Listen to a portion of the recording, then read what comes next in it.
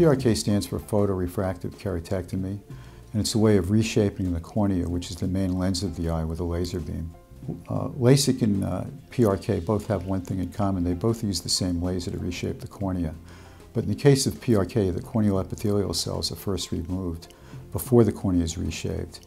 And with LASIK, a flap is made, it's lifted up, the cornea is reshaped, and then the flap is placed back in its normal anatomical position. PRK is probably a better procedure for patients who might be in uh, full contact sports, uh, such as mixed martial arts, or uh, other contact sports such as basketball. Uh, however, um, other reasons where uh, PRK might be more appropriate would be if the cornea happens to be very thin or a very large correction is going to be performed. The recovery time with LASIK is much quicker. Uh, patients often see very well on the first day.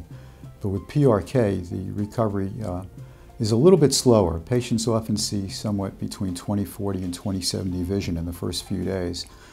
Uh, and after a week, this rapidly improves, although full vision might not be gained until maybe one to two months later. Someone interested in having either LASIK or PRK should contact our office. We can arrange for uh, a quick evaluation to see if they're really a good candidate to have this procedure done.